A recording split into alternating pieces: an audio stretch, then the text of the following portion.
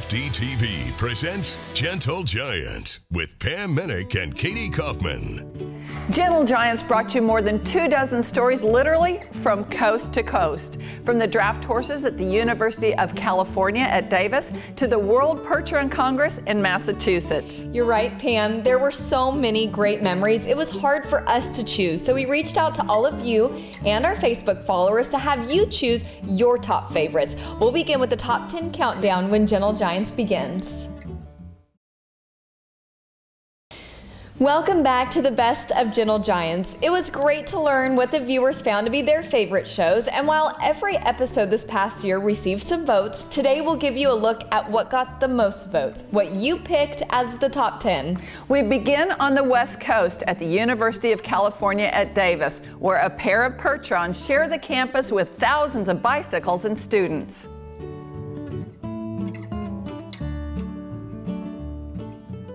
It's really cool to see photos from over 100 years ago of people with draft horses in front of this very barn.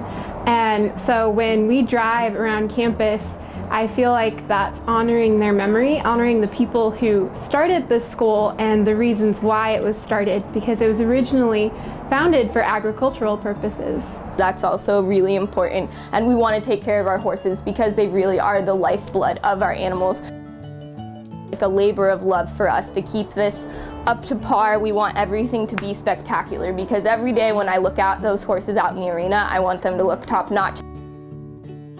So it's been a way to, to bring back the focus of equines. You know, a lot of people on campus stopping and taking pictures and, and Facebook, and it's just, it makes us remember what it was like to be on the campus when it originated. Number nine is Gentle Giant's visit to LaPorte, Indiana, the largest 4 H draft horse program in the nation, where the Mrozinski family is developing young Teamsters. Right, Pam. Award winning driver Stephanie Rupels judged the show, which had almost 100 entries. In the class, I like to point out something positive that they do so that they have some encouragement and also something that they can work on for the next time. Obviously, they're the future of our industry, and to get them headed in the right direction at such a young age is wonderful.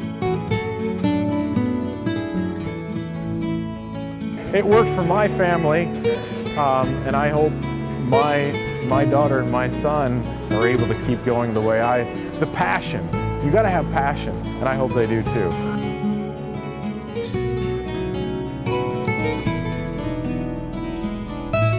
If you want to grow up and be in the big hitches, you got to know how to decorate because it's going to help out the hitches. And my cousin even got called out. They the hitches came through and they said, "Does anyone know how to main roll?" So I feel like it's a really important skill to know. It's really fun because then they just prance around. Most of the time they prance around after they're pretty because they know that they've got something. I say you gotta believe in yourself and you gotta try doing it even if when you get frustrated, you got to keep working because your leaders aren't going to let you stop. They're going to make you keep going. We both fell in love with Lily and all the youngsters. We did, Pam. Now, moving on, there are no motorized vehicles and more than 300 horses on Mackinac Island in Michigan, which is number eight. Horses themselves here, they saturate the entire society, okay? We don't get our grain delivered by truck. Um, we use horses for everything. These are things that the horses actually did. Um, they delivered freight in the cities. They, they delivered the groceries. They, they delivered their own feed. Um, they also haul the tourists. They haul people. You'll see horses doing everything from hauling all the food to all the restaurants, the construction materials to any building that's going on. We have horses here that are taxi horses, which are horses that can cover ground and be pretty prompt about their work. We horse, have horses here that are what we call utility horses. A utility horse is like a utility tractor. It's usually a crossbred horse between a draft horse and some kind of light horse, often a standard bred. And those are horses that can both work with some speed but also take a load. And so we use those horses on uh, uh, most of our tour type carriages. And then we have one of the very biggest of draft horses to do our heavy work. Number seven is the 2015 Tournament of Roses Parade, and no Gentle Giants would be complete without a feature on the Budweiser Clydesdales. Just getting the horses in shape. It's getting getting to a six mile parade to pull the wagon through there. Uh, this year we have three new horses that they've gone through our training program, but they've only been out with us probably about a month and a half. So it's going to be interesting. They've they've gone through all the training processes, but nothing really prepares them to, to what they're going to see with over a million people on the streets. The closest thing we can do at the training facility, we start them out in pairs with an older horse, and then we go from pairs to fours to six to eight. It's a 10 month process, and they have the brewery, the trucks, and that. It's just that the noise level is what's going to happen. So, what we'll do is we'll put an old horse next to them, and uh, we'll bring them in as we go. And when we first started them, we only put one horse in at a time, then we put two in, then we put three. And so, this, this parade, we're going to try all three new ones. Stay with us. We'll continue the countdown when the best of Gentle Giants returns. Welcome back to the best of Gentle Giants. The Guinness Book of World Records tallest horse is Big Jake, owned by Jerry Gilbert in Wisconsin. We had a chance to ride this Gentle Giant. Here's number six with Big Jake.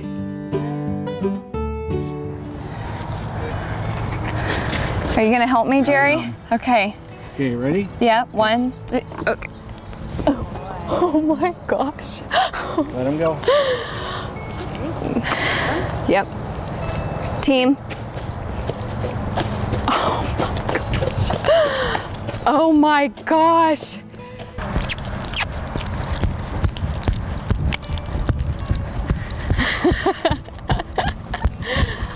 I think I need one.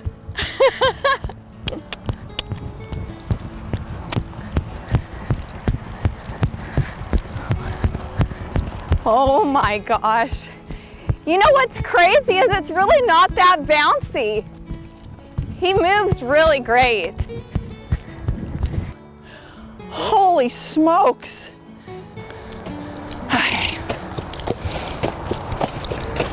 Craziness.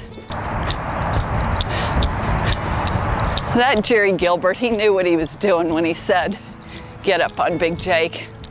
This is an experience I could not leave Wisconsin without attempting.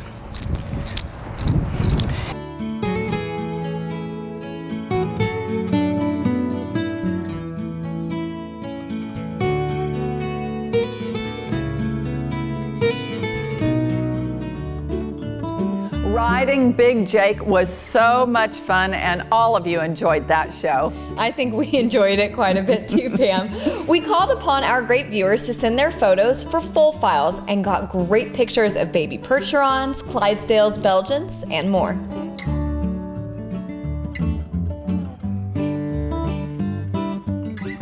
Utopia Ice's Encore, better known as Corey, is the second generation to be raised at Utopia Percherons. Corey was the first or maiden foal out of Utopia's Cracker Jack surprise they call April. The Lynches hope to keep Corey as a potential hitch horse. Because he's been shown and handled a lot as a foal, he'll likely be much easier to train when the time comes. They'll begin to do a lot of ground driving in the bidding rig and then hook him a few times as a two year old. Then they'll leave him alone till he's about three to start really training him to harness, usually single first and then double. Express Clydesdales added one more rare black Clyde to their barn when Shady Maple's Peggy Ann gave birth to this colt on March 7th. Owned by Bob Funk and his Express Employment Professionals, one of the top staffing companies in the U.S., the colt is EX Decker's prize. And he sure looks like a prize. The Express Clydesdale barn is in Yukon, Oklahoma, and it's open to the public. You can be sure this little guy will be getting a lot of attention as he grows up to hopefully find his spot on the hitch in a few years. Number four is the Gentle Giants Six Horse Hitch Finals, sanctioned by the North American Six Horse Hitch Classic Series. Here's a look at the final round drive off and the results. Anything, the drivers are asking for more than they did the first heat. They are. This is when it all comes down to those finite details, and the scorecards are separated by half of a point. Oh, just such minute details, you're right. Take a look at Country Lane Belgians. Man, they are still showing their strength. Kyle Forsyth is taking a look at what's going on in the arena. And Freeman Yoder and his fiancee Katie aboard. Freeman is such a great guy. He's a tremendous horseshoer, always does a wonderful job with those Percherons. Can't help but look at what the assistant drivers are looking at as they're going around the arena. They're keeping an eye with five hitches in the arena. Spacing is important. And it looks like Travis Shaw is coming in for the lineup. He will stop. Tim jumps off to get everything lined up for him. There comes Country Lane. Oops, they missed the turn. They're going to have to swing a little bit wider here. That you don't see that happen very often. No, that is very surprising that Kyle missed the lineup. And don't think the judge didn't notice that. He was supposed to come in on the right side of Ames Percherons, and for whatever reason, he couldn't make that turn. As we see the rest of the hitches line up, last into the lineup of these five in the drive off was Blue Ribbon Days, and we will bring all 12 hitches into the arena as we see who will be the new six horse hitch champion. There comes Goodell Clydesdale's last into the ring. This is 72 tons of horsepower inside the Jim Norick Arena. Okay, now it's down to three, and Country Lane Belgians comes in in third place. Obviously, that lineup problem possibly cost them, and now it's down to two. The reserve champions for the North American Six Horse Hitch Classic Series National Championships is Ames Percherons Travis Shaw at the lines and the back-to-back national champions Blue Ribbon Days with Dean Woodbury. I think Dean was actually looking stunned when he heard Travis's hitch called out as second place because when you're out there in the arena, you truly don't know which way the judge is going to lean. And I know that the Ames family is thrilled with that, as are the Clevey and Day families. Albert Clevey is in California judging another horse show. I can't believe he's going to miss his horses winning another year back to back. It's such a family affair, not only for the Day family and the Cleveys, but also the Woodburys. Dean's wife Kelly, his children, they all make this happen. Stay with us. The top three best of Gentle Giants is coming up. Welcome back to the best of Gentle Giants. It's time for the top three stories from 2015 as determined by you, our viewers, and our fans on Facebook. Number three was our visit to Schaefer Belgians in South Dakota. And we have to admit, we were in heaven out in the pasture with all those mares and foals.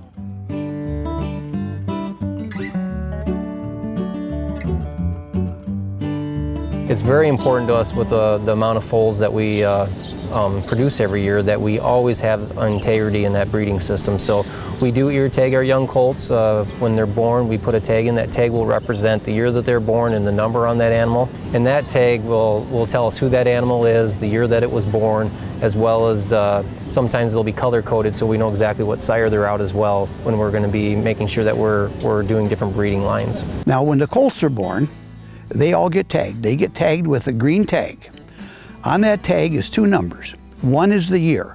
So this year that there will be a little written number 15 to show they were born this year. Then they will have a number and they are in sequence as to time of birth. So a, a colt that carries, carries a tag of 15 and has a, number of 21 on it means it was the 21st colt born that year. We tag the male horses, the stud colts, in the left ear. We tag the female horses in the right ear. Also in South Dakota, near Sioux Falls, we paid a visit to McCrossan Boys Ranch where heavy horses are changing young men's lives.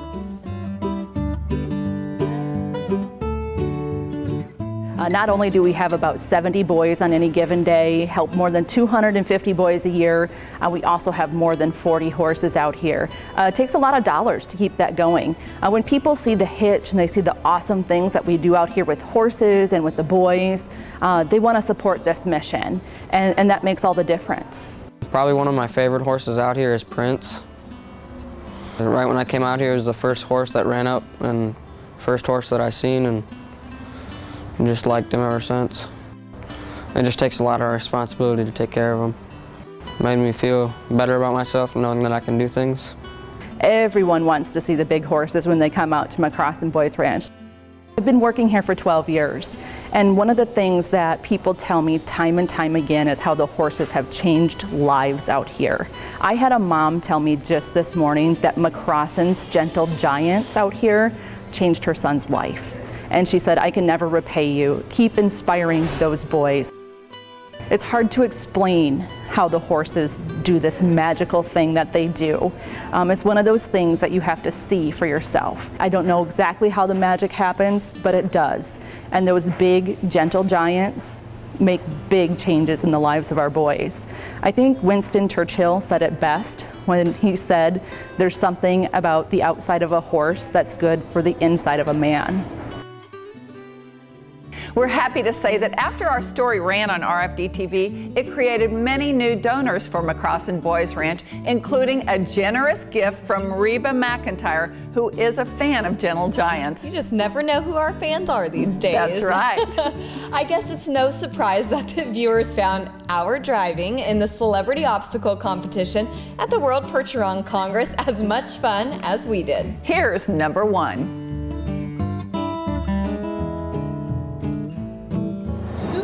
All right. Yay. Hey. And cheer them on, ladies and gentlemen. Our ladies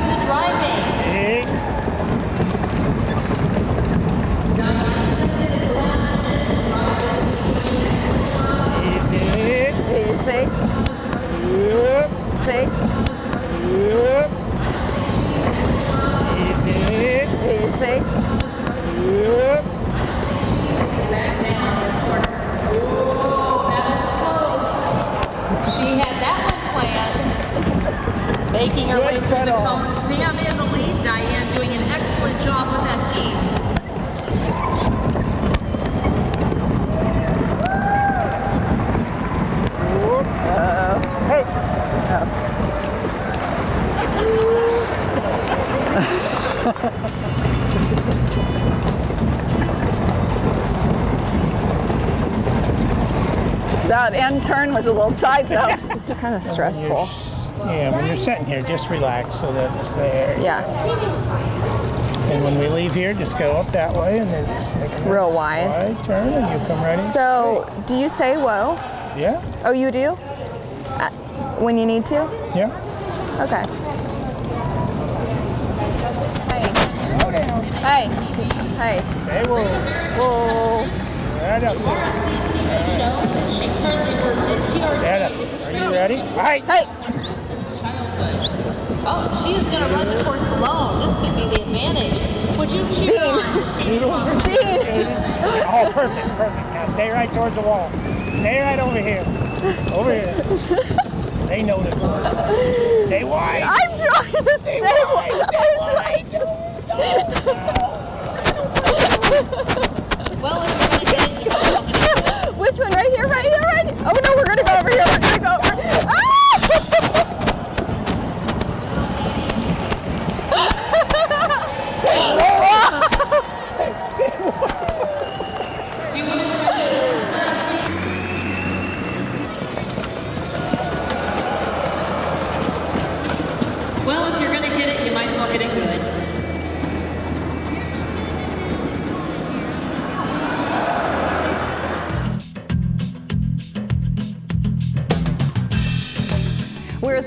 for the Clevey and Day families of Blue Ribbon Days for letting us take the lines of their world champion Percherons. And to driver Dean Woodbury for the confidence he had. Well, he had a lot of confidence in you. Me, not so much with that imaginary emergency brake, but I sure had fun. he was pressing on it. He was bracing, and it was fun to watch and fun for all of you. Thanks for watching. We'll see you right back here next time on Gentle Giants. And in the meantime, you can always see what's new on our Facebook page.